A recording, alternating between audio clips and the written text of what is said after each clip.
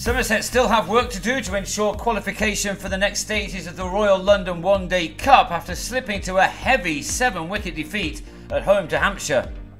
Batting first after winning the toss, the home team lost Tom Banton in the fourth over for 18. Kyle Abbott, the man on target.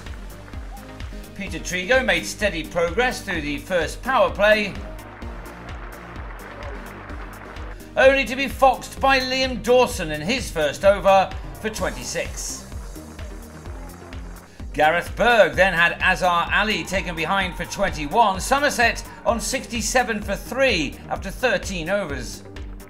They actually went 18 overs without a single boundary and also lost James Hildreth, who tried to get going but struck Mason Crane to James Fuller to depart for 22.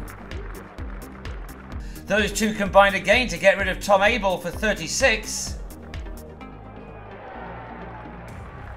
While Fidel Edwards saw the back of Lewis Gregory for 9, Somerset in trouble on 141 for 6 from 28 overs.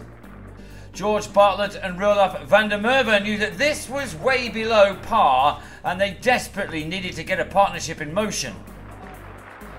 But the innings contained only one maximum and this was it. Van der Merwe going after Crane, Somerset up to 189 for 6 with 15 overs remaining.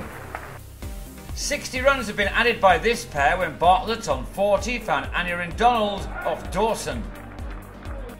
Van der Merwe followed in the very next over, trapped in front by Abbott for 38. And next ball, Jamie Overton was run out by Sam Northeast.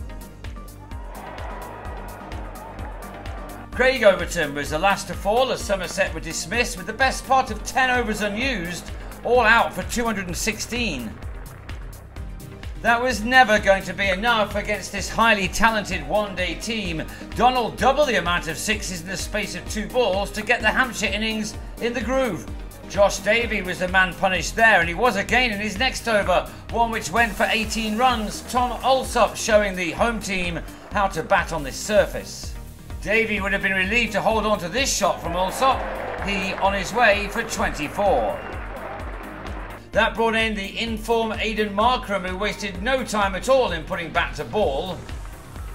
Donald, meanwhile, eased to his half century, his runs coming at one per ball. He went big again off Van der Merwe, but in trying to do so once more, he holed out to Abell to fall for 57.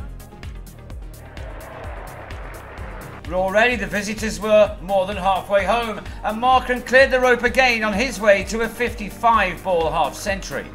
Craig Overton was once again the pick of the home attack, and he sent Markram on his way for 61. But the damage had been done some time ago. Rilee Rossouw added salt to the wound by blasting 26 off 9 deliveries, leaving it to Northeast to wrap things up with a 6. The game over way too early as far as the home support were concerned.